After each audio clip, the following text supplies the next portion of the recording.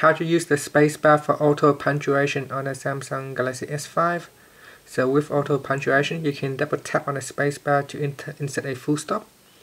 Now to use this feature, first press on the home key at the bottom to go back to your home screen and go into settings. In settings, scroll down to the system section and tap on language and input.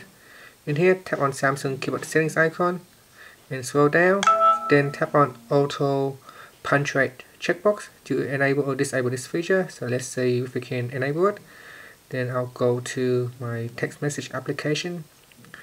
And I'm just going to delete some of the test text. So let's say I'll put in something. And so as you can see that if I tap on the space twice, it automatically inserts a full stop. Uh, in addition, with a uh, space bar, with a space, so that allow me to continue to type.